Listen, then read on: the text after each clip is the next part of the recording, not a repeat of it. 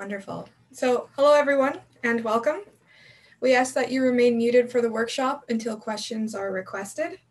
Uh, everyone was muted upon entry, so when you we do open it up for questions, please just remind uh, to unmute if you do have a question. Before we begin, I want to introduce the group that helped make this possible.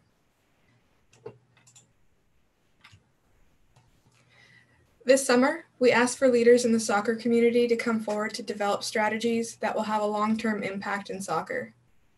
These individuals have stepped up to give their voice in designing and implementing of the Saskatchewan Soccer Diversity and Inclusion Strategy. And today I'm honored to introduce the 2020 Diversity and Inclusion Advisory Group.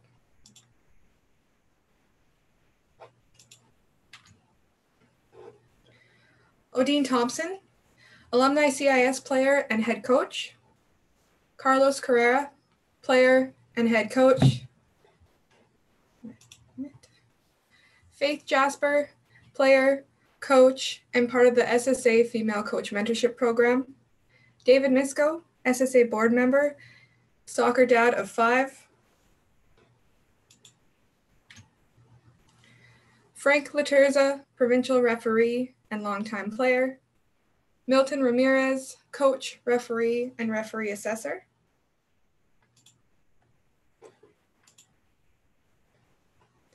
Kashmir Bahia, player, volunteer, and coach for over 25 years. Lisa Balganiri, SSA board president and proud soccer mom. Robert Jarrett, player and head coach. Please check out our Friday member communication for more information about our amazing group members.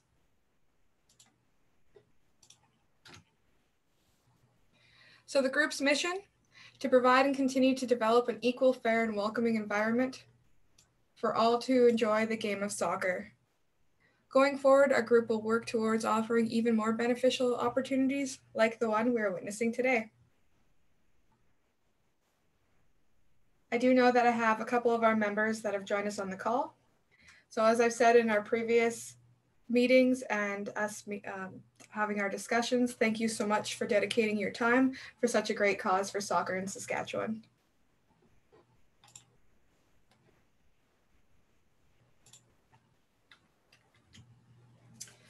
And yeah, Christina Greer, I gave you what, 15 minutes that was going to take me, and that was five.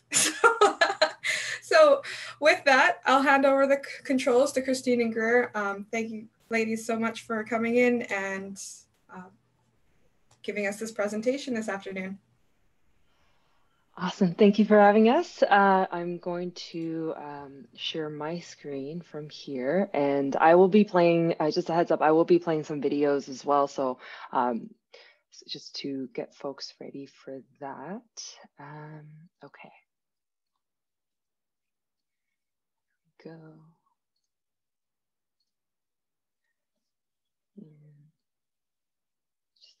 Quickly. All right, so thank you all so much for, again, like I said, thank you all so much for having us. Usually I say welcome, but then typically it's, we're being welcomed into the space, so thanks for having us. um, before we begin, I'd like to just begin with a um, territory acknowledgement um, and then kind of provide a sort of more personal piece to, um, to this one here that I'll read out loud. So um, I would like to acknowledge the sacred land on which I am located on to co-host this virtual space. Um, it has been a site of human activity for 15,000 years. Um, this land is the territory of the Huron-Wendat um, and the Petun First Nations.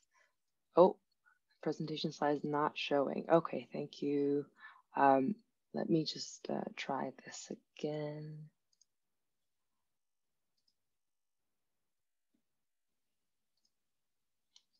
There we go.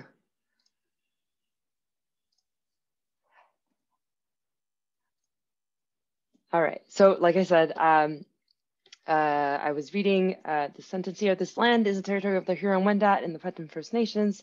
The Seneca and the Mississauga of, of, the Credit River, which is in Treaty 13.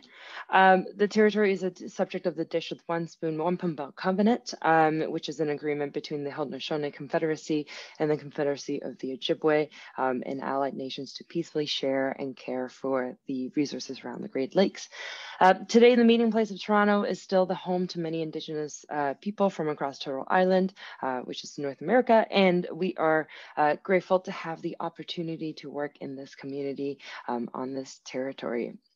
Um, uh, I'm not sure if folks are familiar with this uh, practice here, um, but typically I do add more of a personal piece to that, which is uh, I, I, work in diversity and inclusion spaces. I work as a consultant, um, and I entered into the space um, specifically doing um, LGBTQ inclusion work. Um, and in doing so, it is really important to me uh, to be acknowledging how I take up space in this work and also where I am uh, residing in.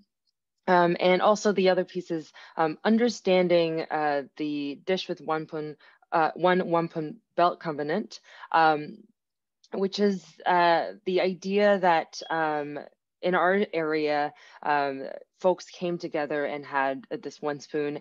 And uh, the idea was that uh, folks would then pass that spoon around in order to share resources. And so um, in this case, um, I am sharing information um, to hopefully um, build uh, the capacity of folks in this space um, to then connect better to the folks you work with and, and to each other, um, and to better understand how we can all move forward together in a more interdependent um, and collaborative uh, approach. So that's um, one of the pieces and the last piece I'd share is that um, I have plenty of Indigenous folks in my life who I'm close to and have the honor to share space with. And, and in fact, um, you know, they share very intimate stories with me and, and included in that is often their experience of colonial violence on a day-to-day -day basis. And so I think um, as somebody who's doing work in the, diversity inclusion space here, it's really important for me as, a, as an immigrant settler um, to then understand and how I am implicit in the system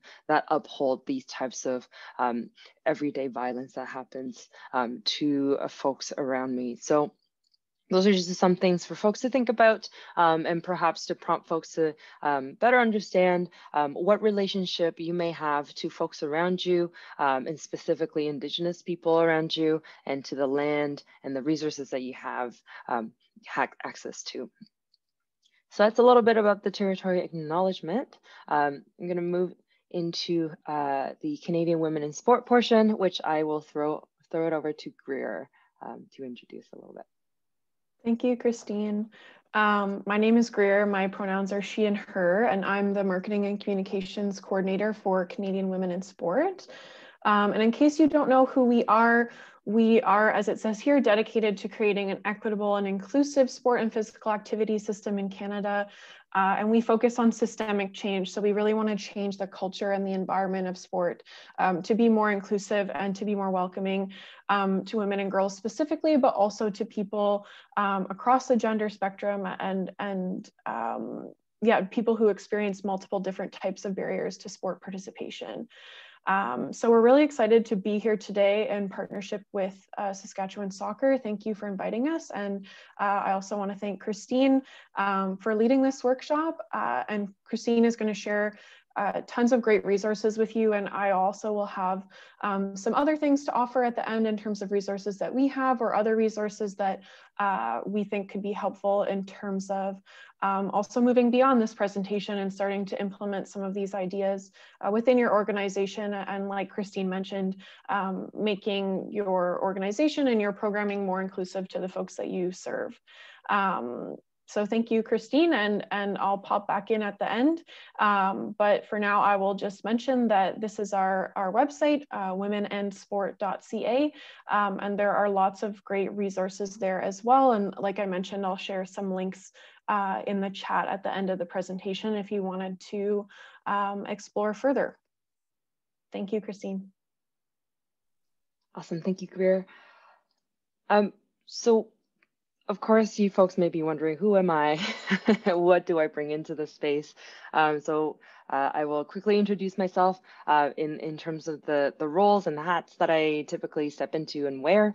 Um, in the sporting context, uh, I grew up playing sports, multi-sport athlete, was mostly mediocre, just good enough to get by and to enjoy sports in in variety of different contexts. Um, I played, I ended up playing lacrosse uh, in, in university, I picked it up. Um, but before that, my main sport and also currently are, are I'd say are basketball and uh, in the summertime I play flag football, um, which you can see in the um, picture on the right hand side, um, which is a summer queer league that I, um, I helped co-found and uh, continue to play in, of course, pre-COVID, um, and hope to continue that uh, space um, in the future as well. I use the pronouns she, her, hers, and they, them, and their. I use both sets, um, and I'll definitely go into that uh, piece a little bit later on in terms of what that means, um, both to me and to folks who are um, who are sharing pronouns and and uh, why that's important to do. Um, and the other piece of information I'll share is that uh, I am uh, I, I grew up wanting people to have more access to sports and not just access, but also to be able to enjoy moving in the ways that feel good in their own bodies. Because, you know, having a body is, is quite hard um, on many days. Uh, and so um, I ended up going into physical and health education and went to teachers college. And in uh, going through that process, I realized how much work there is um, with inclusion within the sports and athletic context. Um, I also work as a personal trainer, so I'm often thinking about uh, what healing centered practice looks like as a movement practitioner um, and working with a lot of folks with uh, different abilities and disabilities, as well as um, folks who manage chronic pain and um, retired athletes, especially uh, fall into that category oftentimes. Um, and so that's sort of a, a fairly wide scope of what I do in the sports and athletic spaces. Um, but as I mentioned before, I work as a consultant and, and trainer, um, as well as an inst instructional designer in thinking about how learning can take place with um, people of all ages and specifically in and around um, diversity and inclusion spaces, anti-oppression, anti-racism. So that's uh, what I'll bring into the space here, and you'll be able to hear briefly um, about some of those aspects of my work. Um, and of course, I also want to um, engage at, and, and meet some of the folks in the space here. So if you'd like and are uh, able to, um, please feel free to share in the chat um, either three pieces of information or one of the three, uh, as you can see on the screen here. Um, so as you can see, cheers, fears, and unclear. So with cheers, um, anything you'd like to share in regards to sort of any successes you've had um, relevant to LGBTQI2S inclusion um, in your experiences commu in communities. Um, and that could very much be being in this, uh, this webinar space to learn more, um, or perhaps somebody came out to you, or, uh, or that you were able to come out if you are somebody from um, the, you know, uh, the queer community and uh, feel comfortable enough to be sharing that. Um, if you have any fears coming into this space, of course, any concerns you may have entering this conversation, um, any of that would be great to share as well so that as we're having um, more information shared, I can keep those pieces in mind in order to address that. Um, and then lastly, any unclear. So if you have any questions in general, uh, or perhaps you're wondering what are pronouns, um, please feel free to share that as well. So quickly take about two minutes time um, if you wanna just type in the chat or if, uh, if it would be easier for you to share verbally, um, you're also welcome to do so uh, by unmuting um, and speaking.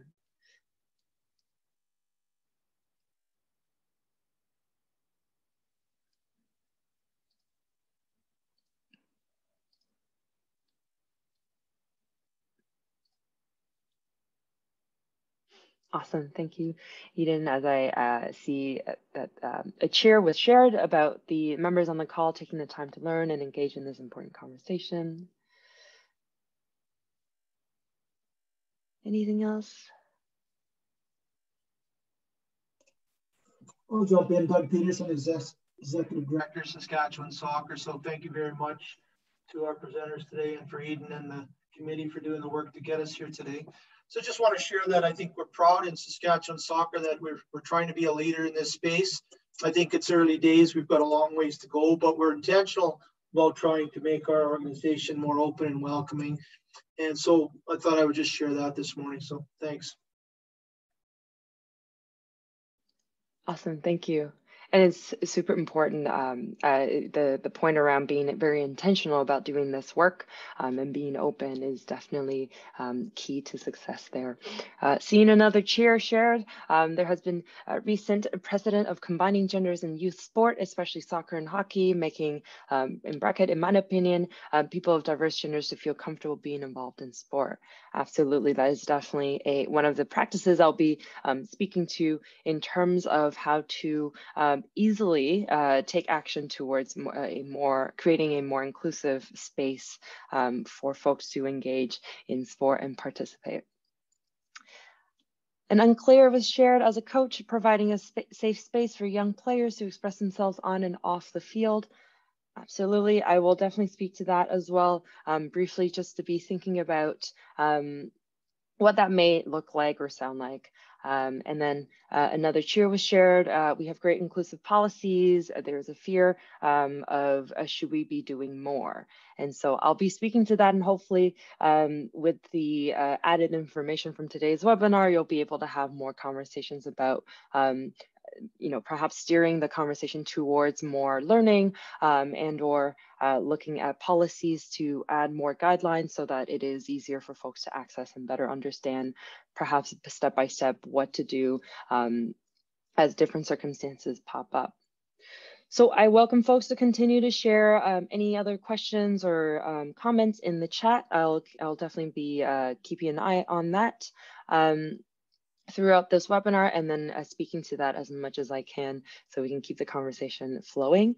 Um, an unclear was shared uh, by Greer here in terms of supporting LGBTQI2S athletes in a virtual practice setting um, and how to take a trauma-informed approach to having conversations about inclusion with younger athletes. Now that is definitely um, a great one to, I'd say, start the conversation with, um, with some of the pieces of information I'll be sharing, uh, but certainly um, a very important topic to be uh, thinking about. So some of the goals uh, for this webinar here today, um, is uh, certainly to look at um, just deepening understanding of categories of identities, in particular to LGBTQI2S communities, but certainly the frameworks I'll share are applicable to anyone of really any experience um, and, and uh, would be a great way to kind of engage with um, perhaps your self-work and self-reflection around how you may self-identify um, and how you experience your, um, your sort of day-to-day -day interactions with others and with yourself um, exploring the basics of trans and non-binary identity and experiences. So I'll be sharing a video of folks sharing, um, or sorry, a portion of a video of um, trans and gender diverse folks sharing uh, what that means to them as well as looking at within the sports context, how do these experiences uh, manifest, um, especially for LGBTQI2S athletes. And then we'll look at um, the practice of allyship. Um, what are some key takeaways that you can walk away with and start thinking about or perhaps start actioning um, from here today. So hopefully no one is in the wrong room and this all feels good moving forward to help with our um, engagement with this information. So um, there may not be as many spaces or opportunities for folks to share openly, but I hope that um, this would be a great tool for folks to carry this um, conversation forward. And this is a great guide uh, list of guidelines. And of course, they're suggested um, to help with that. So um, going into the first uh, point there in terms of responsibility, we are all responsible for one another and ourselves. And so that's speaking to self-care um, and understanding that, especially in COVID, everyone is having a harder time in general. And so it's important as you do more of this learning and this work, there may be really challenging times, um, whether it's uh, that you have lived experience and you're constantly being um, and being subjected to uh, hard conversations and advocating for yourself, or it's that um, you're you're advocating for somebody else, or perhaps you're coming into this conversation for the first time and it's um, challenging some of the ways in which you've come to understand of how to navigate uh, in, in this world. Um, all of those things are all very valid and really important to acknowledge that um, doing the work of diversity and inclusion is and can be hard and it is very personal. So it's important to take good care of ourselves and each other and with um, practice of compassion in that way. Um, curiosity is a good thing uh, which is that, you know, I definitely welcome questions um, as folks are thinking about or processing this uh, these pieces of information. Um, but in asking questions and also beyond this conversation here um, is to think about why you're asking those questions and how you're asking those questions. Um, because a lot of times um, in asking those questions, sometimes we're demanding um, or, or asking people or requesting people to be sharing their own lived experience, which is um, can be hard at times and it can be empowering at times. And so it's important um, to think about the impacts of how we're engaging with this um, content, um, especially with folks who are uh, coming in with lived experience. Um, and this is also where I say that, you know, there's so many things to advocate for in this world. Um, the devil is not one of them. So if you like to play devil's advocate, um, hypothesizing situations that you personally would not experience, um, I definitely uh, ask you and invite you to refrain from doing so, um, as sometimes that may not be as productive for the conversation. Uh, confidentiality is the next piece and thinking about that with uh, twofold so um, whatever I share here today, I hope that folks are able to take away with them, um, make meaning of that and share as widely as possible. But certainly if there are stories being shared throughout this conversation and moving on forward, um, that uh, anytime anyone's sharing their experience or their story um, and that you'd like to share with um, other folks with that, um, that you would check in with them around whether it's okay for you to share their experience or story. Um, so that that consent practice is there in keeping with uh, making sure that uh, the stories stay with the people um, but the learning continues to spread. So um, that's uh, essentially it. Um, the last two points um, I wanted to share are mostly around your experience engaging with this topic, thinking about feelings that may come up. Um, and again, it go, goes back to the last point there around uh, being responsible for ourselves and our self-care practice. Um, and what I'd like to also now share is this next tool around um, engaging with this topic, whether it's about LGBTQI2S topics, so inclusion, um, or about diversity and inclusion at large, um, about thinking about other uh, systems of oppression or experiences um, that get brought into that conversation. So as you can see here, there are two models actually combined um, by uh, Karen BK Chan, who's also another facilitator in the sort of Toronto area who does a lot of sex education and consent uh, work. Um, the target in the middle there you see are um, referring to your learning experience, which is um, typically that we, we mostly operate in the comfort zone when we're coming across new information, um, the stretch zone is typically where you land, where you're proceeding with caution. Um, sometimes you may end up in the panic zone where you feel emotionally activated. Um, and sometimes when that when, when you're in that zone, that's where we go into the uh, the second model here, as you can see the words around that target that speaks to your bodily um, physiological response to um, you know the stimulations that are happening and so you can see fight flight responses, freeze, and what I would add is fawn, um, which is a, a response where um, you may end up just agreeing, um, saying yes when you mean no.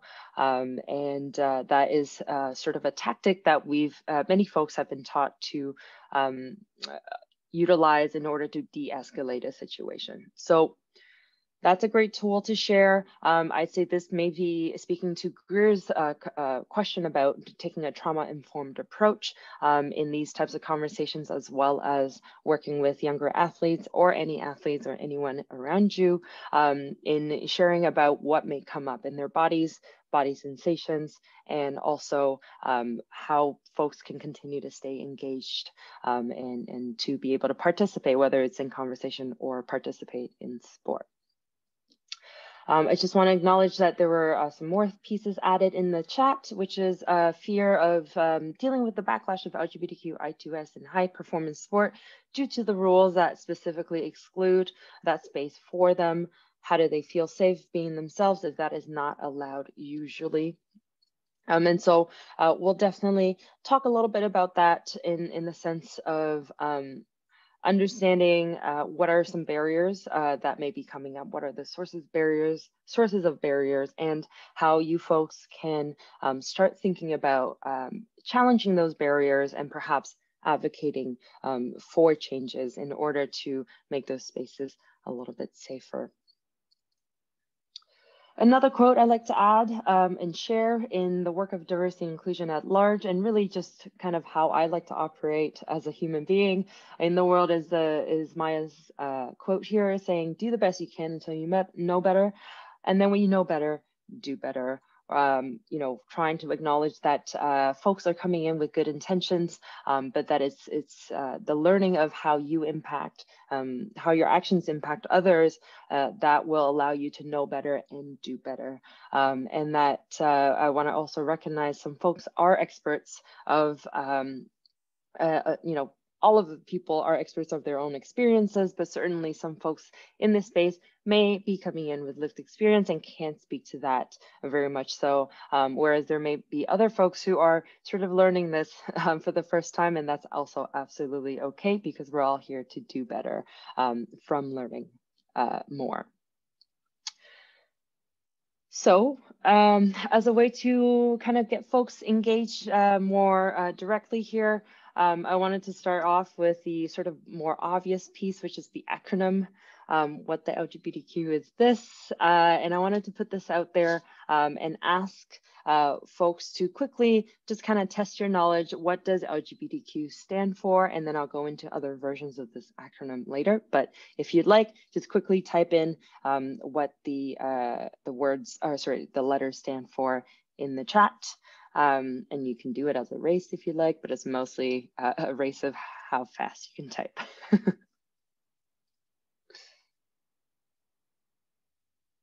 awesome. Thank you, Eden. So as you can see, it stands for lesbian, gay, bisexual, trans, and queer. And certainly this is the shortest acronym uh, or one of the shorter acronyms that you'll see and come across, especially online if you're doing any research. Um, uh, and sometimes you'll see LGBT plus, LGBT asterisk. Let's see how folks do with this one here. And if there are any questions or uh, around words that are unfamiliar to you, I will definitely address those in um, in a little bit. Let's see if you can take a stab at what these letters stand for. So we've, we've addressed LGBT. Let's see what, uh, the Q, one of the Qs. Two spirit, yep. Questioning, intersex, asexual, uh, ally, and pansexual. So uh, one thing I'll say um, to that, that's a great stab at all of those uh, letters.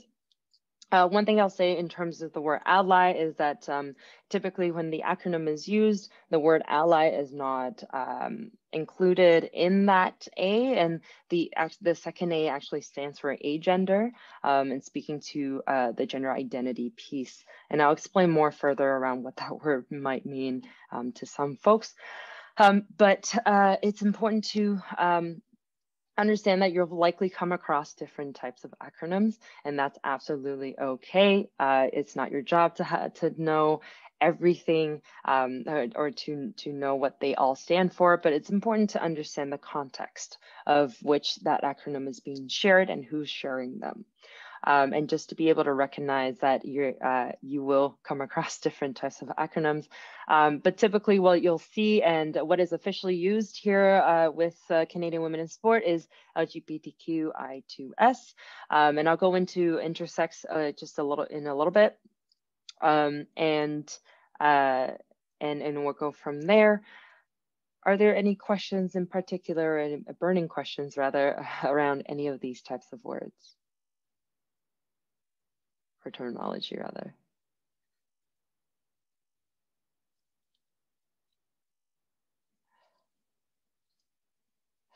No, okay. So we will move forward into the next portion of this webinar here, which is around uh, the, the framework of which that I'll share um, to build up on our knowledge here. So um, the framework I'll be using is sort of the identity basics framework. Um, there's different version of it.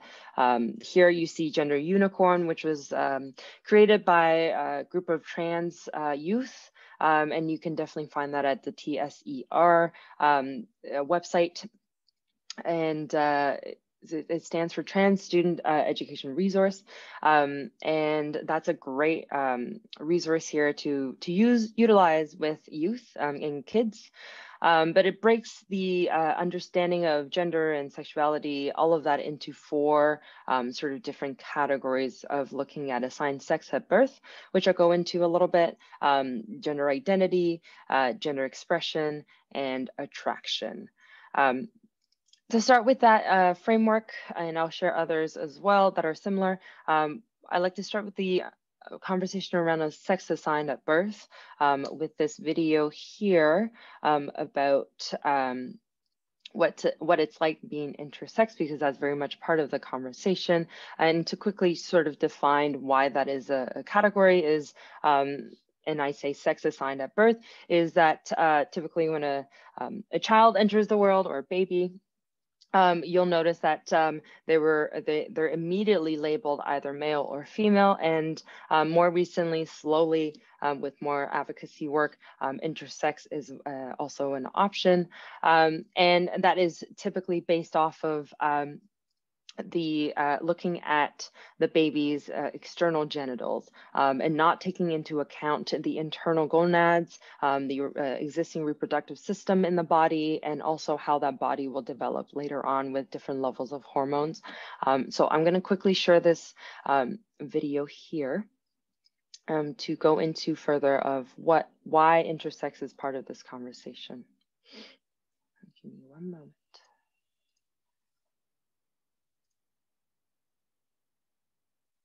And all the videos I'll, I'll, be sharing today are accessible on YouTube, so um, you could uh, you can expect a, an email with all of the resources later uh, on today.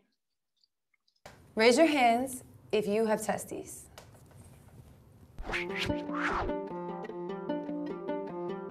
I'm Pidgeon. I'm Alice. I'm Emily. I'm Saifa. And we are Intersexy. Intersex describes a person who doesn't fit the typical definition of male or female. I have XY chromosomes, but typical female genitalia. I'm a girl who has testes and XY chromosomes. I identify as a queer, gender nonconforming intersex person. I identify as a black intersex man. Intersex is not new. It's been around since the beginning of human existence. I mean, there's probably even intersex dinosaurs, if you think about it. Transgender has to deal with your gender identity, whereas intersex has to deal with your biological characteristics. Often, intersex people get surgeries that they don't want, and transgender people have to fight for surgeries that they do want. They gave my mom the excuse that the internal testes were cancerous, that I would develop cancer. They didn't even come up with an excuse basically in terms of a health related reason. They instead just said it was about the appearance. A lot of doctors are very uncomfortable with the idea that I have testes and they're still trying to get them removed, but I'm perfectly healthy and there's nothing wrong with them. They did a surgery to remove my testes and told my parents to take me home and just raise me as a girl and I didn't find out about it myself until I was 12. There aren't a lot of options or medical providers don't explore other options.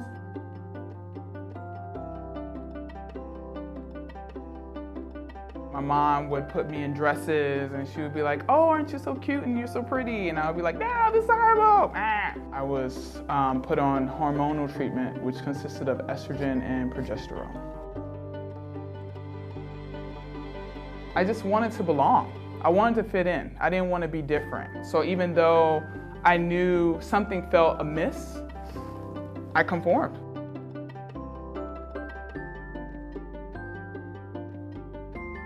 He was very condescending. He was like, you intersex activists don't know what you're talking about. It's difficult for intersex people to find each other because from an early age we're told not to talk about our bodies. I did feel like I was the only one. My doctors always told me there was nobody else like me. And so it just perpetuates a vicious cycle of shame and stigma that we can't break out of. I would tell another intersex person that you are worthy, you are lovable. Your body is beautiful, you're beautiful. Intersex people don't need to be fixed. There's nothing wrong with them. I know you feel like you might not be able to get through this. I know you might have really dark thoughts, but I want you to know that meeting other intersex people and finding a community or a support group can be one of the most important aspects in your healing process. And we're out there, we're out here, we're here. And I just hope you can find us.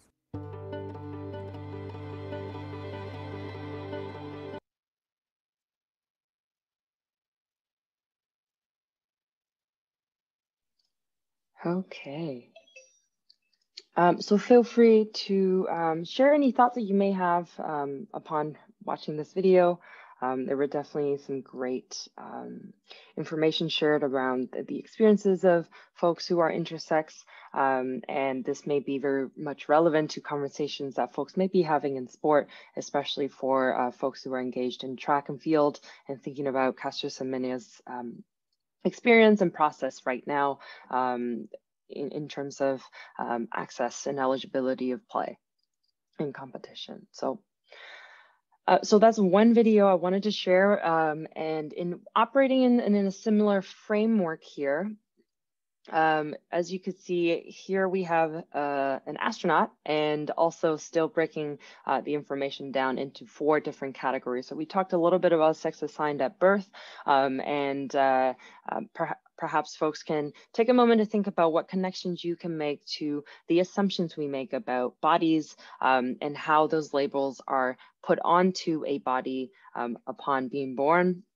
And then um, as that body continues to uh, grow and develop, uh, that um, you may realize that that person um, has agency to then talk about how they experience um, their uh, identities or their lived experience. Um, and so we'll go into uh, the second category here of understanding gender identity.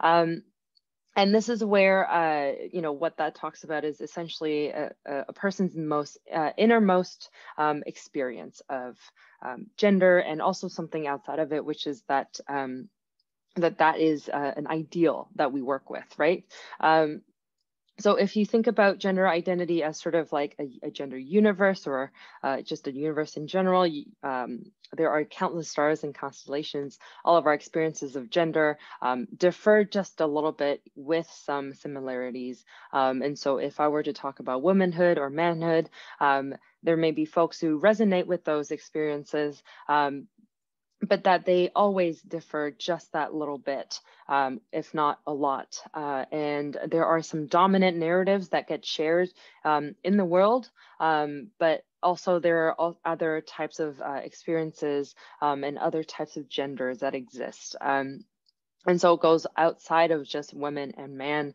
and there are also folks who identify um, as something outside of uh, women and manhood. Um, and this is where uh, also, like I said, because it's so different for so many people that um, you'll likely come across many, many different words that describe those experiences, um, of which um, may be described as trans, uh, non-binary, um, agender, as that has come up in, in the sense of not having a gender, um, and or all of the above as well. So that's gender identity. And uh, I'm going to use uh, a video here to help um, go into more detail, um, but uh, with more voices speaking to this um, concept. And this is a great video. I'll only share a portion of the video, um, but that I uh, definitely welcome folks to um, check it out. It's about eight minutes long in total, but I'll be sharing about four minutes of it um, from here go.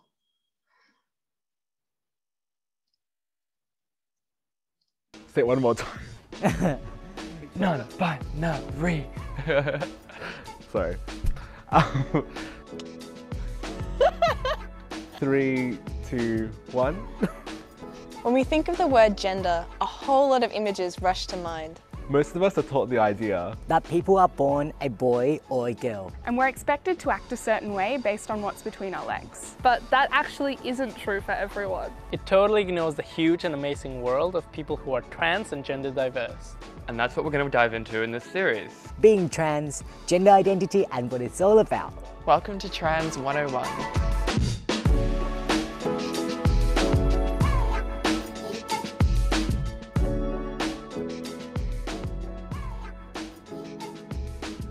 Traditionally, we tend to think of gender as decided by the body we're born in. People are usually assigned female or male at birth. But bodies and gender are actually pretty separate things. Gender is basically part of someone's internal sense of self. It can be male, female, neither, a mix of both, or exist totally outside of that.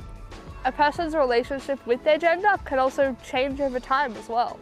The gender we're assigned at birth usually gets reinforced by the people around us over our lives. Hearing things like, be a man or you're such a girl. It can feel like we're being told who we're supposed to be. Most people feel comfortable with the gender that they're assigned.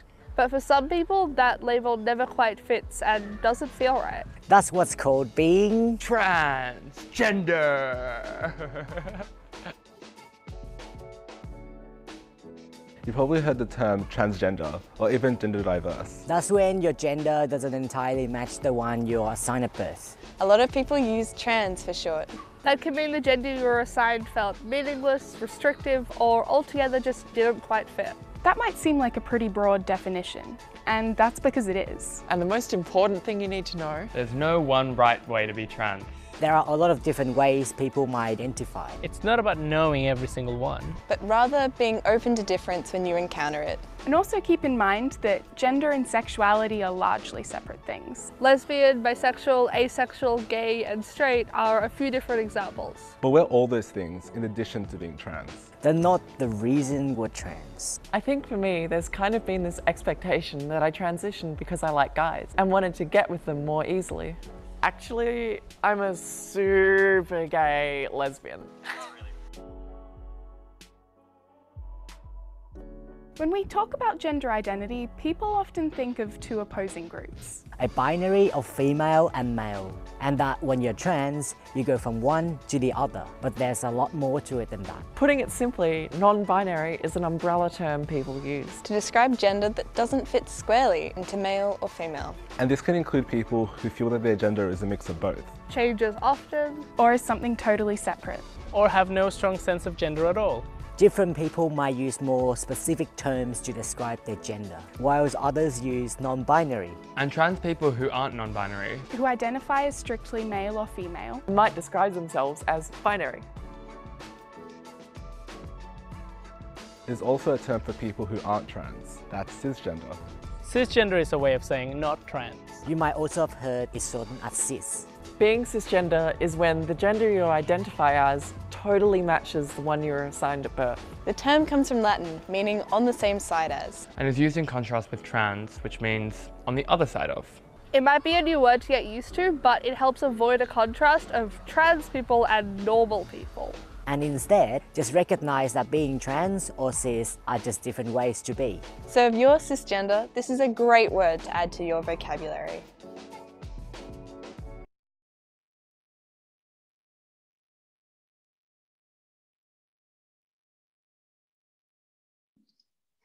As you can see, I stopped the uh, video about halfway through. They were about to go into transitioning and different types of transitioning that a person who's trans um, or non-binary may um, choose to access um, as a process to then become more uh, gender affirmed. Um, so a quick visual here to kind of um, summarize what they were talking about here in terms of understanding language is that um, trans or transgender is used as a, a broader umbrella term um, and that um, non-binary and binary may fall under it. Um, but when someone identifies as non-binary, um, they may not actually use the word trans um, to describe themselves. Um, but there may be trans people who say they're also non-binary. So that kind of uh, works in a, in a um, kind of funny way, but um, it all comes down to how that person come to access um, the information about those terms and how they feel and then sort of the relationship they have with those terms. Um, but what's important as what was mentioned in the video is that it is different for everybody um, and that all you have to do if uh, someone were to come out to you or share an experience with you is uh, for you to just uh, validate and, and simply, if you don't know what they're talking about, if, if you're unsure of the term that they just mentioned, you can always ask um, for clarification around, oh, you know, uh, you know, thank you for coming out or sharing that piece of information. Thank you for trusting me. Um, can you tell me more about what that means to you? And that's a great way to um, engage with uh, that sharing of uh, information that is deeply personal um, with that person while building that rapport and that trust around um, just wanting to better uh, get, to know them in, in that uh, instance. So that's a little bit about gender and gender identity and the different uh, di the diversity within gender. Um, into the category, uh, the next category here, which is they already mentioned attraction. Um, and this is sort of the uh, the third category here in thinking about um, sort of all of the different identity categories here. And this is talking about the feelings that we have, essentially, um, and feelings that we have towards other people. Um, and it's talking about who we like and how we like them. Um, in the video, we talked. They talked a little bit about. Uh, they mentioned lesbian, gay, uh, bisexual, asexual, straight. All of those words talk about um, or, or reference uh, who we uh, we may be attracted to, um, but there's also some other terms that talk about how you experience those attraction um, feelings. So um, this is a great graphic here to kind of split that up into head, heart, and pants feelings. Um, and I'll quickly just kind of go through it. Uh, when you're experiencing head uh, attraction feelings or intellectual attraction um, to towards somebody, you may be thinking in that sort of platonic uh, context with a pal, um, and you're hoping to just connect better and more um, in a very platonic way.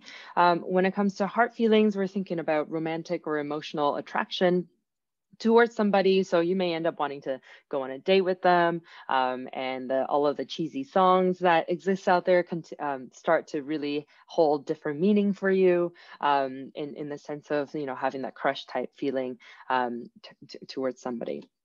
When we're talking about pants feelings, um, that's referencing uh, or referring to the physical or sexual attraction feelings that somebody may have um, towards another person. Um, and there are plenty of words in that category there to describe that experience. Um, but mostly it's, it's uh, it may involve having some pantsless activities with somebody else um, uh, with consent, of course.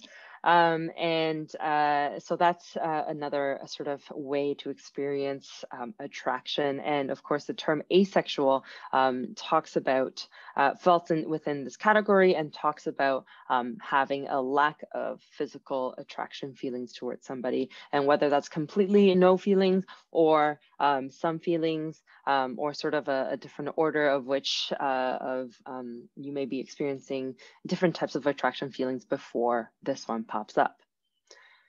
Um, the last category is around uh, gender expression, um, which is, I, have kind of left uh, the slide blank around that one because gender expression is sort of how um, the ways in which that we communicate our gender and the meaning um, of sort of what gender means to us. Um, perhaps for some folks it's not as conscious and it is it comes down to simply um, the different types of sports you play the different clothes you wear the tone of your voice um, your mannerisms um, all of those different uh, practices and, and experiences all encompasses sort of that expression of your gender to put it into context uh, and share as an example, here's sort of how I use this framework to better understand myself, um, first and foremost, uh, but to also be able to share with folks who are close to me and that I want to continue to sustain a, a uh, intimate connection with.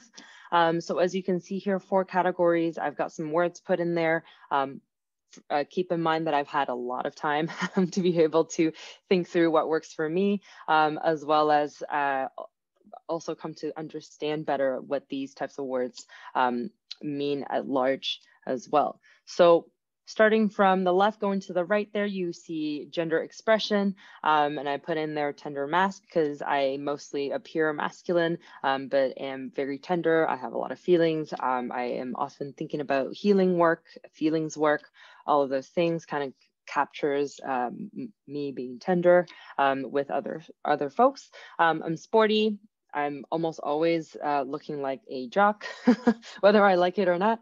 Um, and most people immediately make assumptions about me being sporty. Um, because of my body type as well. Um, I like to be stylish, but also comfortable. Um, and uh, the word that uh, most um, sort of uh, encapsulates like or captures my um, experience is androgynous, which is sort of the combination of both masculine and feminine traits all together.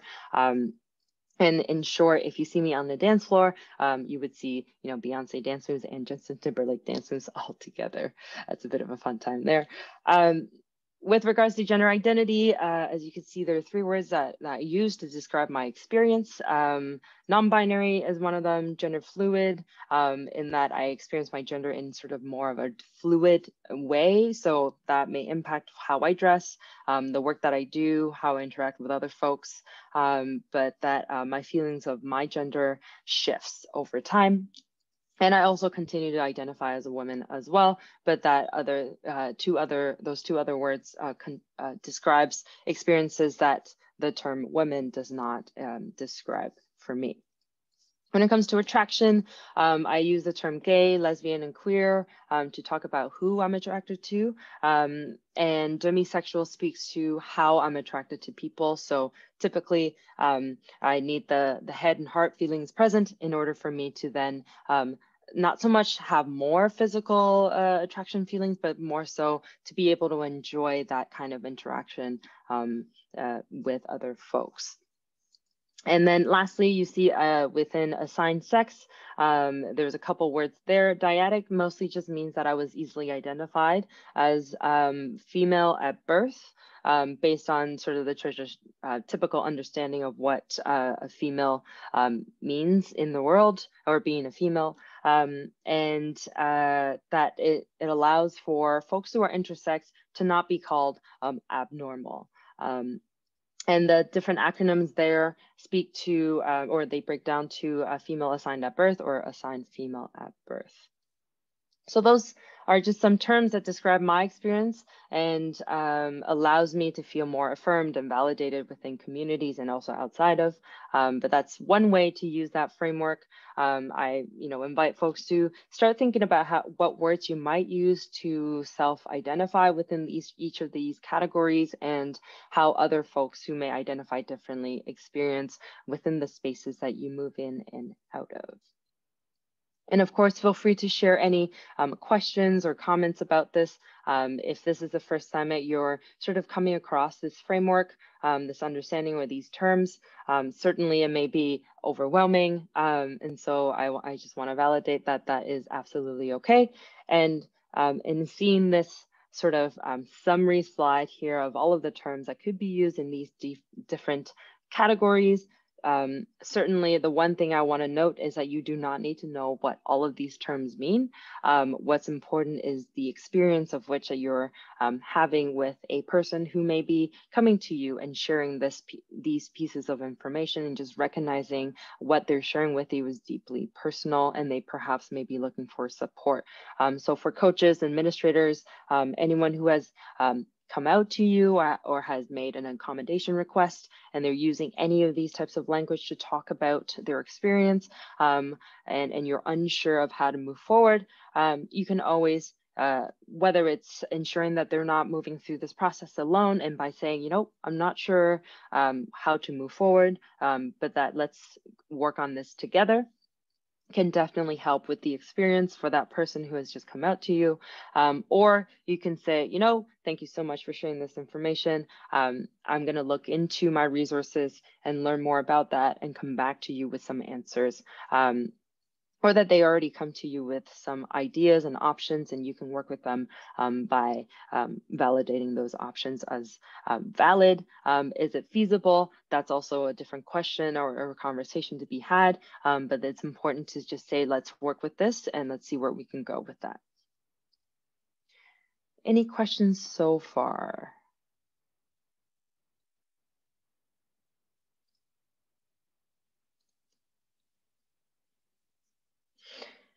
Okay, so one of the other pieces that a person may come to you with, um, and uh, this is also a, a point for um, acting in allyship, is the, the concept of pronouns.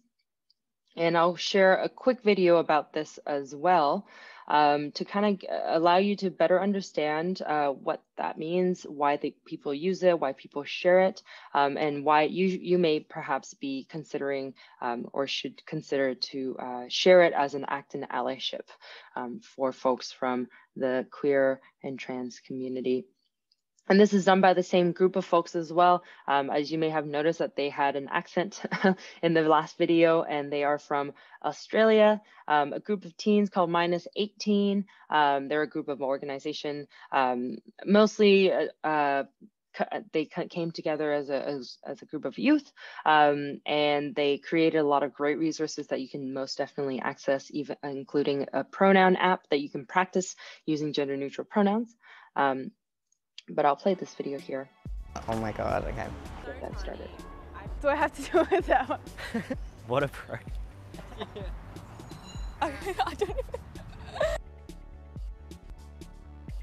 Pronouns are basically words used to refer to a person rather than their name. They, she and he are all examples of common pronouns. He and she are gendered pronouns. She's typically used by people who identify as female and he's typically used by people who identify as male. However, he or she pronouns are sometimes used by people who don't identify as strictly male or female. Some people prefer gender neutral pronouns. Gender neutral pronouns are generally used by people who identify as genderqueer or non-binary. A few common gender neutral pronouns are they, ze and a, but there are a whole array of gender neutral pronouns. People think long and hard about the pronouns I'd like to use and why. If you use the wrong pronoun for someone, that's what's called misgendering. When a person has new pronouns, it can take a bit of getting used to, but it's really important to use the right ones. A person's identity is very important and it's super important to respect that. So when people use the wrong pronoun to me, I find that I've gone through all this effort to kind of come out and be myself and it's kind of just thrown back in my face. Coming out for me was mainly awkward with a lot of people that used to know me, people didn't understand. I think there is a lot of misunderstanding. When people get my pronouns right, it makes me feel like I'm, you know, like being myself and people are responding to that and are just like respecting me as a person.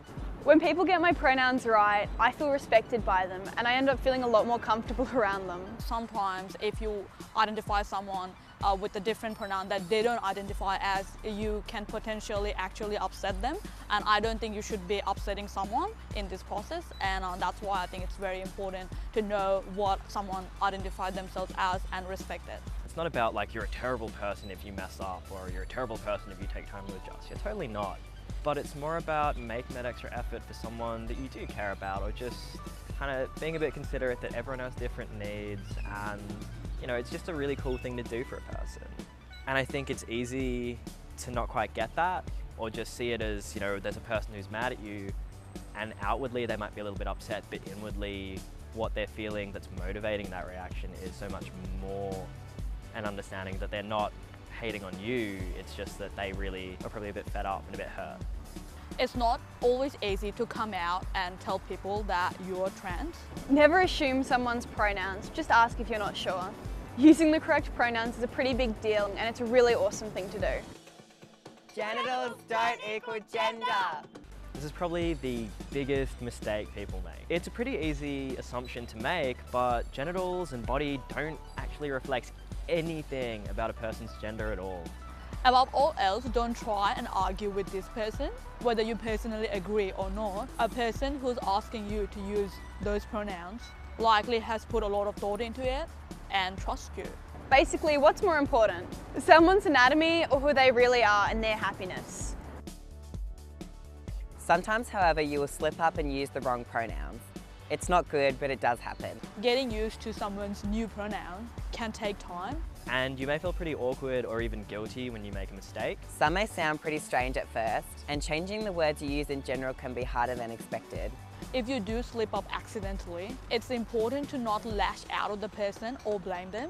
You might not pick it up instantly, and it's important to try hard on this. But if you do slip up, don't snap on it. Just keep trying your best and you'll get the hang of it with time. Don't freak out, just make a quick apology, correct yourself, and keep going with the conversation. making a big deal out of it, it's probably gonna make them feel bad and make the situation very uncomfortable for both of you. If you hear someone deliberately or even accidentally using the wrong pronouns for a person, don't hesitate to pull them up on it and politely correct them.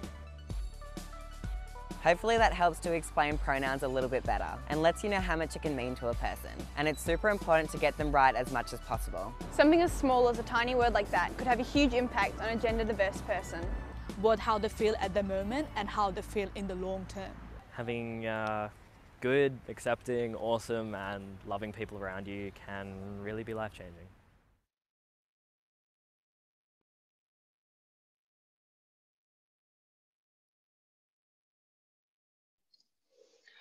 Okay, so they made uh, a reference to a variety of different types of gender neutral pronouns. Um, and this is a great uh, visual slide to um, capture that. Um, as you can see from the left, you see they, them, and their. Um, this is likely the most common one um, that folks are familiar with. Um, and then moving across from the left to the right, you'll see other types as well. Again, to note, um, you don't have to know all of these gender neutral pronouns. Um, they may even feel like a, a new, diff, uh, new different language uh, to you, um, and that's absolutely okay. Um, it's uh, really important um, only when um, perhaps someone is sharing uh, the, any of these types of pronouns uh, sets with you that you practice using them uh, when they're in the space, especially when they're in the space, but certainly, um, or, or sort of within that context of the conversation, um, but certainly uh, away from that context as well, because we all know that practice, um, some may say practice makes perfect, but from my kinesiology professor, um, he said uh, practice makes permanence. And so um, the more you practice the more you'll get better at it um, and that they'll seem less like uh, a different language to you. Um, and of course um, for any french speaking folks there are also french um, pronouns um, but with uh, with any types of language that are coming from sort of that romantic um, type of languages of like French, uh, Italian, Spanish that are very much gendered in that uh, discourse. Um, it's definitely a little bit more complicated, but that there are definitely folks within different communities um, utilizing different types of gender neutral pronouns um, within those languages. So it's important to just acknowledge that that exists and uh, for anyone who shares it with you um, to then practice and utilize in um, as, as much as you can to really put this into context before we move into um, more so what does that look like in the sporting space? What are some of the experiences um, looking, sounding, and feeling like? Um, I wanted to put out these questions for you, whether you'd like to engage in it in the chat box or if you want to just write those down and um, continue this conversation with, uh, with each other after the webinar and throughout. Um, certainly, uh, please feel free to take a snapshot or a screenshot of this um, and uh, share a little bit. There was already a question earlier, I believe, um, that talks about how do we make spaces safer on and off the field, um, especially with younger athletes. Uh, that is definitely um, speaking to the second question there around um, within the sporting context, how can we remove some of the barriers? Um, and I'll quickly speak to that now, and then that'll segue us into the next portion. Um, but certainly, uh, bringing in examples, visibility um, always helps. Um, referencing uh, famous athletes who are queer um, and trans um, and excelling or not at all, really just that, that general uh, representation, um, bringing that into the context can really help um, you know children and youth um, to have somebody to look up to and and to be able to learn more about because a lot of these athletes um, are also active in um, doing some of this uh, advocacy and education work as well um, especially a lot of trans women athletes who are in high performance uh, sports. Um, so uh, that's definitely something to uh, look more into, learn more about um, so that there's representation. Um, I'm seeing in the chat here uh, by Eden uh, talking about remove barriers, reviewing facility accessibility for sure. Looking at change rooms, bathrooms, and um, to make that uh, available for all. Um, that is definitely something that folks can do um, before a tournament uh, takes place. So looking into that facility to look at um, what are the options? Are they all gendered? Um, are there opportunities to make uh, a space gender neutral or finding a third space that is accessible? Um, because you know, when, when it comes to sports uh, competitions, uh, it's not just the athletes also, but also the, the folks um, that they bring with, with them uh, into the audience to watch. Um, and there may be other folks of different abilities as well in thinking about uh, physical accessibility also. Um, but alongside that, of course, having change rooms and, and bathrooms available for athletes to access is uh, uh, of um, utmost priority. Um, and uh, if you're working with uh, within really old facilities, it's all about working with the team uh, facilities team there to think about um, how you can make accommodations. Um, and there's different examples as well um, across the board on the internet and within different uh, provincial and national sport organizations that have started doing this work. Um, so I highly encourage folks to look into it. I'll be sharing some uh, resources later on um, for folks to have access to um, and, and uh, have folks to speak to as well if they have specific questions. So um, I'm going to move into the experiences of Canadian sport um, or sort of sport in institutions at large. Um, and one of the key things to, to note that is relevant to um, experiences of LGBTQI2S athletes um, most often is um, this idea of misogyny and how that comes through in the experience of sport. Um, misogyny, a quick definition of that is, is, sort of the devaluation of femininity um, or um, being of feminine, um, regardless of gender of the person. Um, and it does hurt everyone. Um, so I'll kind of break that down into what that looks like. These are definitely um, larger words um, and not so good words either, um, but certainly um, highly recommend for folks to write those down if you're unfamiliar with them. But starting off with heteronormativity, so the norm of um, being straight or the assumptions that get made about people, um, about them being straight, as opposed to uh, just sort of assuming that everyone is straight. Um, sizeism, uh, experiences around size and the assumptions that gets made about folks who are um, thin, uh, thin-bodied or larger-bodied. All of that, all of that as alongside misogyny. All of these definitely impact everybody.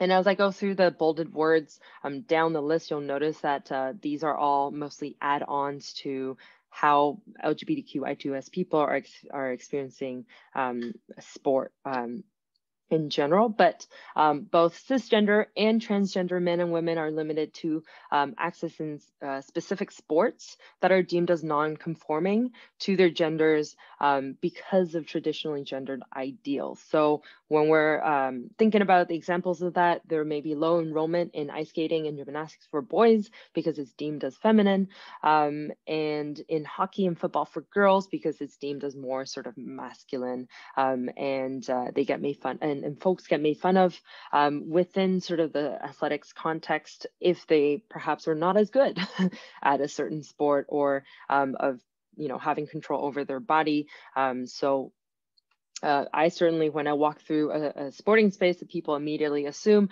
um, that I actually, interestingly enough, they assume that I play soccer. Um, I'm not bad at it, but I certainly uh, wouldn't center that as my main sport. um, but they just take a look at the size of my thighs and my calves, and they assume that I play soccer and um, would be good at it. So those are sort of like examples of how how that uh, can impact everybody regardless of gender or sexual orientation. Um, to add that on specifically for queer people who um, so this is a referencing folks who are um, uh, gay bi queer um, thinking about sexual orientation or attraction here um, that they that we experience even more so on top of what's already been mentioned um, uh, you know unsafe spaces because of assumptions about gay and bi people. Um, so an example uh, a couple examples is that um, experiencing physical violence for a lot of boys who are perceived as gay. So even straight boys um, who are a little bit more feminine, perhaps in, in sort of having flamboyancy in their um, the way of speech, mannerisms, um, thinking about gender expression now, right? Um, to, in in in experiencing their time in perhaps a locker room or in school, um, and then for uh, for girls, perhaps there may be sort of more emotional side of uh, experience uh, violence there um, about rumors of, of somebody being a lesbian because perhaps they have short hair um, or play a really deemed you know deemed masculine sport.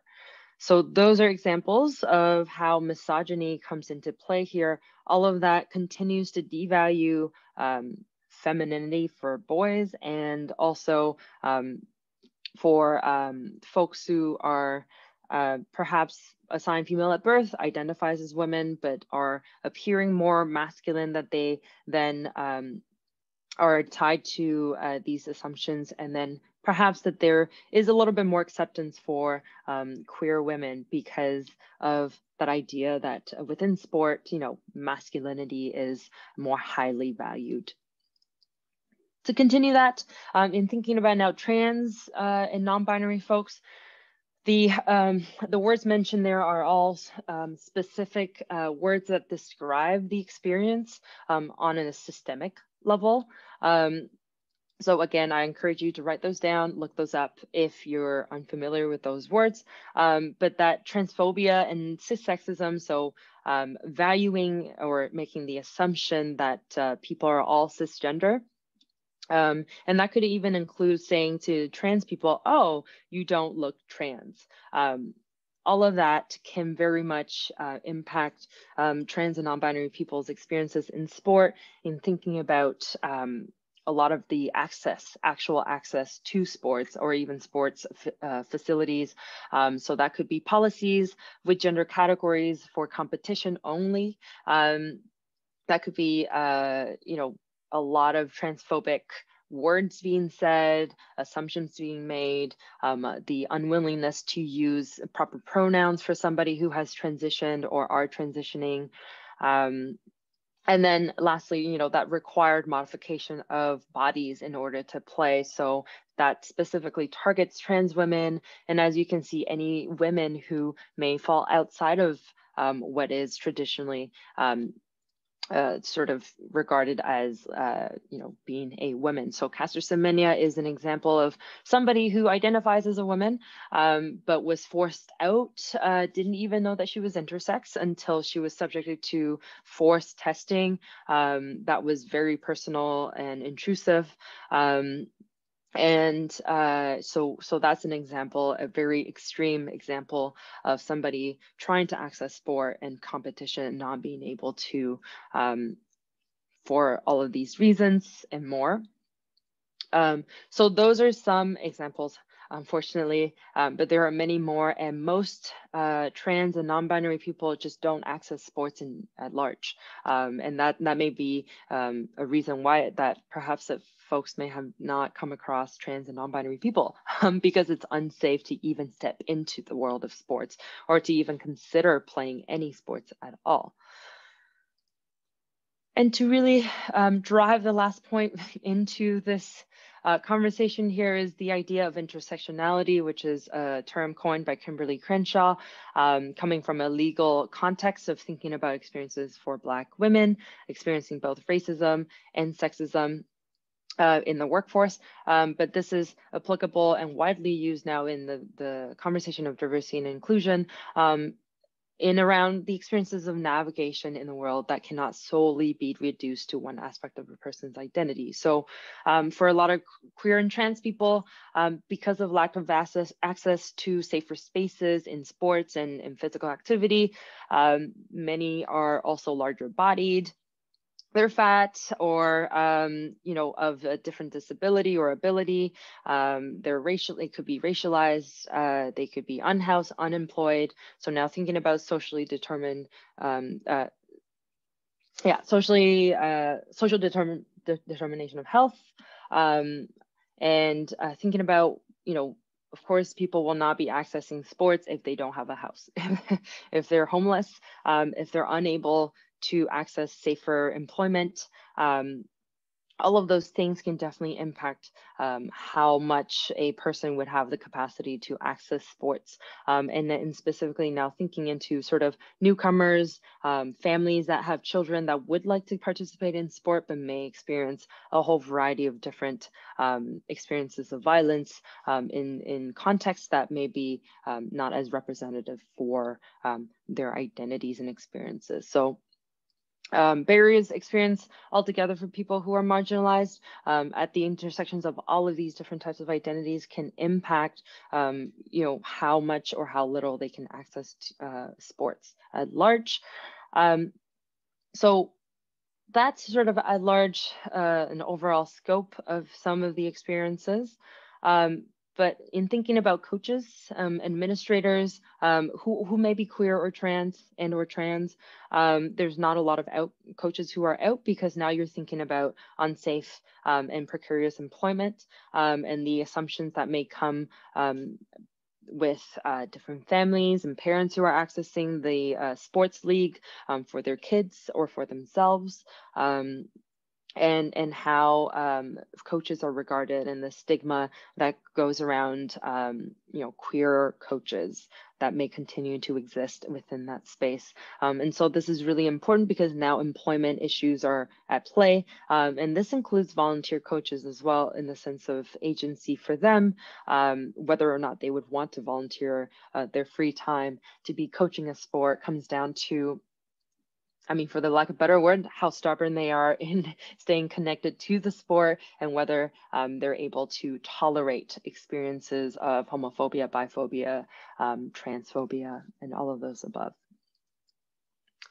So what can you do, last portion um, for uh, this webinar here today, what can you do moving forward in thinking about allyship? So what is effective? Um, I've broken it down to a couple of points here. Um, so the first one is really understanding what you may not have encountered um, and uh, thinking about what more you need to learn going into that second point there. Um, because uh, at the end of the day, the more you're exposed, the more uh, you're able to kind of um, unlearn and relearn um, some of the, the ways in which you've been taught to um, operate uh, on your own as well as with others, and especially working with youth. Um, they may be coming to you with new terms and concepts um, and ideas, um, and it's important to then just kind of have access and connect with that in order to make the space safer for for them. Um, another thing is amplifying voices. Um, so especially working with youth and children, um, you may have children coming to you and saying, hey, you know, I don't feel this particular way about my gender, or um, I want to use a different name and different pronoun. Um, and that you may be the one trusted adult in their life. Their parents may not even know about it. That could be a very highly uh, likely um, scenario. Um, and that's also where you may need to think about how you can amplify and advocate for um, this child or this youth um, in order for them to continue to be able to access a safer space with you um, and within the relationship you have with them.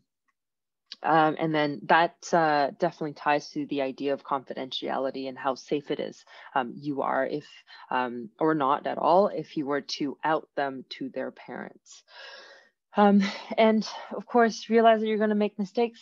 Um, and I'll share um, I'll, I'll, share a quick tool in and around sort of accountability and what that looks like in acknowledging that something happened and someone says, you know, you did something that hurt me acknowledging that you did uh, that it happened, um, saying sorry, and then making that sorry come to life. So um, asking them if they need any support, centering their need in the moment, um, and uh, moving forward, um, looking at what action you can take in order to avoid that instance. So um, for the example of pronouns, um, you've heard in the video already, but certainly you may uh, slip up um, working with somebody who may have transitioned um, from the time that you met them to the time that, that you're engaging with them now.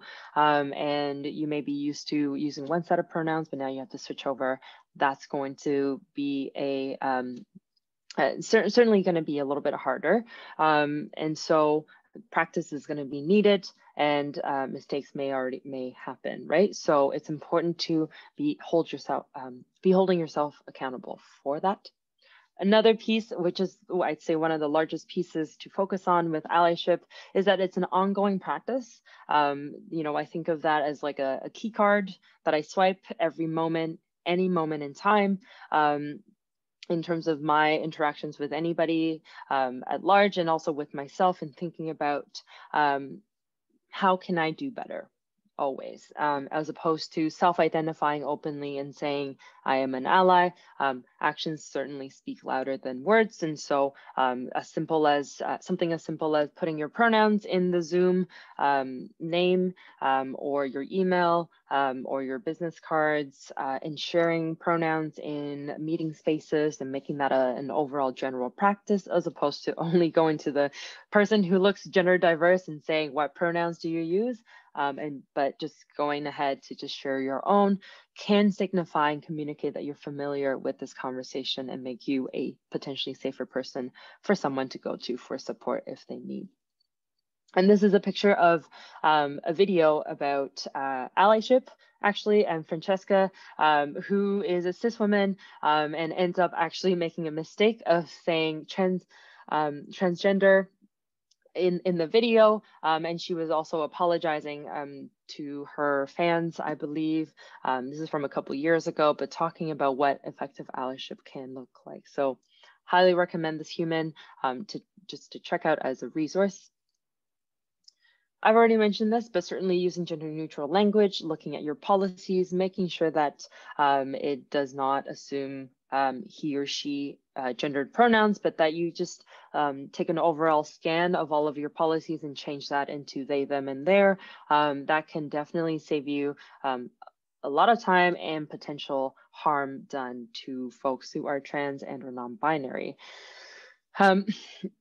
Something to avoid to do, which I think we're all hardwired to do, unfortunately, at large, is assuming somebody's gender. Even I do so myself as a non-binary person, and I have to stop that consciously myself. Um, is is you know you can't assume somebody's gender by looking at them. Um, it's it's got to come from them sharing it with you if they choose to. Um, and there are gender neutral terms that can be used, honorifics, Mr. and Mrs. There's Mx um, that you could use, or just kind of avoiding that uh, that function in general on forms, registration forms, systems that would be helpful. Um, but that when you're addressing groups of people, there are plenty of gender neutral terms you could use. Um, I'd say get creative, it's fun. Um, but if you do end up going into your habit of Good morning, ladies and gentlemen. You can always add the last portion, which is sometimes what I do if I uh, end up falling into that, which is um, good morning, ladies and gentlemen, and all of the awesomeness in between and outside of. Um, at least you're addressing all of the different uh, diversity within that uh, sort of spectrum. So those are great uh, to start looking into and uh, doing that practice of. Um, and uh, there are plenty of resources that you can look into in terms of gender neutral language uh, used. You can just simply Google it. Plenty of those um, will pop up right away. I've already mentioned I uh, use correct pronouns. Um, one note, thing to note is uh, it's not preferred pronouns, but correct pronouns. Um, it's not a preference, it is just their pronouns, just like any of our names um, and any nicknames we choose to use. Uh, it's important to um, honor that as much as you can. This is a, another tool um, that's quite similar to what I had shared about accountability. Um, if you get called out, uh, which is in the moment, you someone raised that awareness to you of saying, hey, you did something, or called in, which means um, they're now explaining to you why that called out uh, call out was done um, or why that uh, whatever you did was harmful to them. This is a great tool by Lukeo um, and it's uh, Googleable as well. Um, if you type in Lukeo, I'll just put it into the chat quickly. Um, and if you type in claim, you should be able to find this graphic, print it out if you like. Um, but I think it's a very useful tool in general, um, especially when someone says you've done something and you know something has gone wrong. Um, first one, it says center yourself. It does not mean make it about you. It means um, do what you need to do in order to come back to the conversation so you're um, not allowing your feelings to take over that conversation there and that that person feels heard. Um, which is the next point. Listen to what that person has to share with you. They're taking their time to tell you, they trust you um, to do something about the information they shared with you. Um, acknowledge, apologize, which is what I've mentioned. Um, but again, you have to make those words come to life. Um, inquires in brackets, which is uh, the fact that, um, like I said, a person may not have the energy to share more information with you, um, or they just don't want to talk about more of their experiences of violence with you. And so that is something to be checking in on if um, you're ever in that position of wanting more information. Um, so you can definitely go away, check in with somebody else that knows them. Um, perhaps that person can help advocate or provide some information to help you uh, learn better, uh, learn to do better rather moving forward, which uh, kind of leads you to the next step here, um, is that continual learning, um, refraining, you know, avoiding those mistakes again, um, and, uh, you know, going back into that idea of allyship being an ongoing practice. Um, one key thing is perhaps learning more uh, about the uh, lived experiences within your sport of your athletes um, and uh, or of uh, the sport in general. There are plenty of uh, folks who are speaking out, um, you know, retired Olympians, current athletes. Um, there's some soccer folks as well who have come out um, in different leagues, I believe in the European League. And in Brazil as well, I may be wrong, um, but that they have come out and uh, started to really address the uh, different words that are used, um, slurs um, within the audience crowd as well. So take some time, learn more about it. Um, people are making videos, um, especially if you're unfamiliar with trans uh, communities and experiences there, look, on, look, look look those up as well as opposed to asking somebody uh, directly in front of you to share very personal experiences with you. Taking action is another step. Um, so, you know, if you're hearing younger folks or anybody in your space using slurs, uh, homophobic words like that's okay, um, take that moment in time to just uh, stop it. Um, and something that I like to do as a sort of, you know, putting on the teacher hat, uh, coaching hat here with younger folks, especially, is I typically just ask more questions like, what do you mean that's so gay? Or what's so gay about the situation? Um, what involves, you know, two people having, uh, you know, attraction feelings towards another, one another? Um, so kind of unpacking that could be a helpful way to intervene um, while teaching, making it a, you know, sort of a learning or teaching moment for um, younger athletes. Um, so taking that time, learning more about how you can intervene could be a great way to um, continue this practice of allyship. What resources that can help you are these, of course, um, there's the CAAWS position statement on trans inclusion in sport. There's ongoing work around that. Um, there's the uh, document that is very informative around, um, specifically around like, you know, the uh, impacts of testosterone on uh, um, performance in sports um, or really lack thereof. Uh, but certainly uh, more information, um, some terminology, glossary, uh, definitions, all of that is in there um, in this document. It's freely available. And as Greer has shared in the uh, chat there, some, some links there. Um, it's uh, definitely online um, and accessible. It's a longer read, but a very informative one. viaSport has one as well on LGBTQI2S. Uh, it's a toolkit, um, some quick uh, takeaways. There's one for coaches that I was able to be a part of as well um, in sort of framing how you can um, go through sort of a step-by-step checklist, um, some some some thinking to, that you can do immediately around um, how you can sort of shift or expand your coaching practices um, to make it more inclusive. Um, so those are three key resources. There are other organizations that are also doing this work. You can play is specific to um, uh, professional hockey uh, in that there's plenty of media campaigns made, um, and you can also make a pledge through that organization. Um, there's uh, just a, picking a, a, couple here. Um, one team um, program by the Canadian Olympic Committee. They've got a couple folks um, or a, a, full team of folks ready to speak about their experiences, whether it's uh, being an um, acting in allyship as a as a team player, um, team member, or um, folks who are queer and sharing um, their experiences within higher performance sport. Um, so these are some experiences. There's also a sports inclusion task force that I'm part of, um, alongside um, a couple other folks um, who are very much involved in, in pushing uh, you know, the advocacy work for trans, non-binary folks, as well as um, sort of the LGBTQ I2S um, spectrum at large. So we're working through that actively. If this is something you're passionate about, that is something to look more into. So a couple things that you can definitely check out. Um, there's also uh, a new, um, so this is a, re a, resource that I shared, Inclusion in Sport. Um, the Canadian Center for Ethics in Sport also has another document um, on looking at uh, sport policy.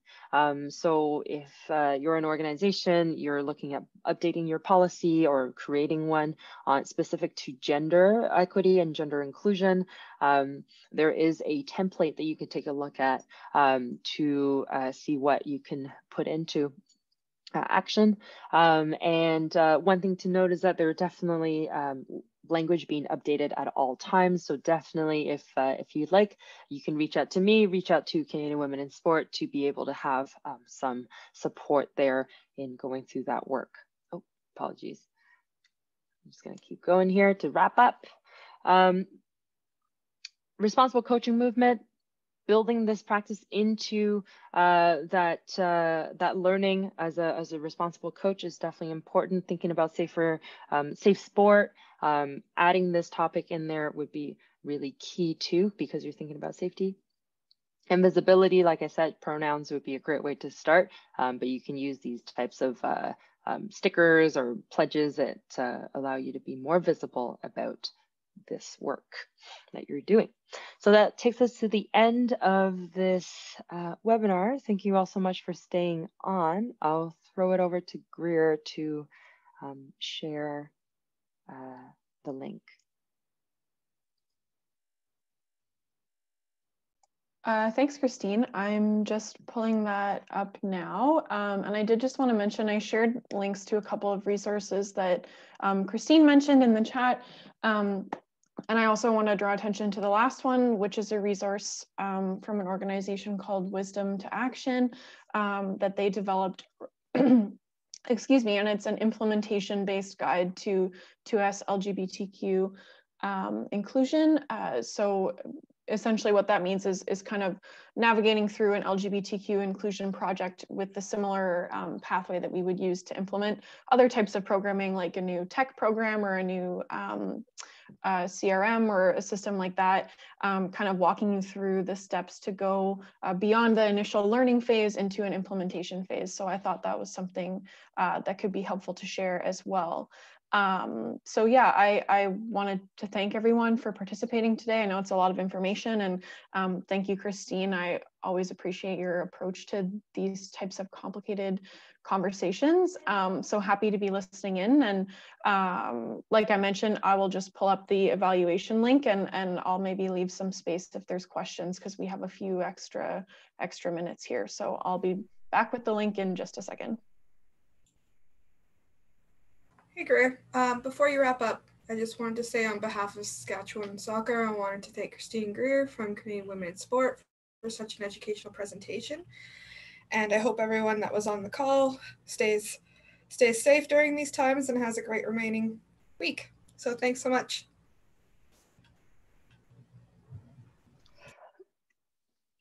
Thanks, everyone.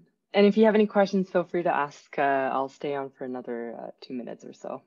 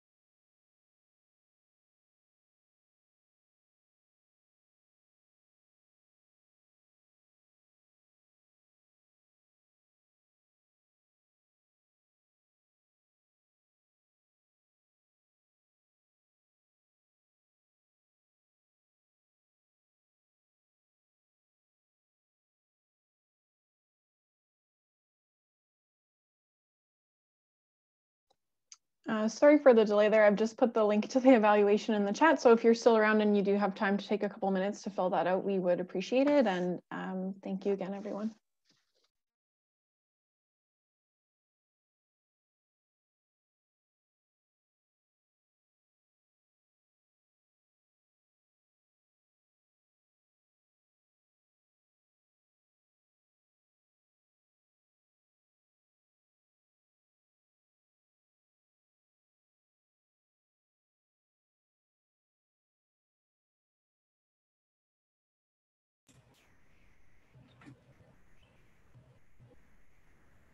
Okay, uh, Greer, I'll also, um, I'll send you a list of the participants too, if, if we need to send the link out to any individuals that stepped out. But looks like a lot of people are starting to exit at this time. Are both of you comfortable with me ending? Perfect. Thanks again and enjoy the rest of your day. Thank you. See you. Have a good one. Bye.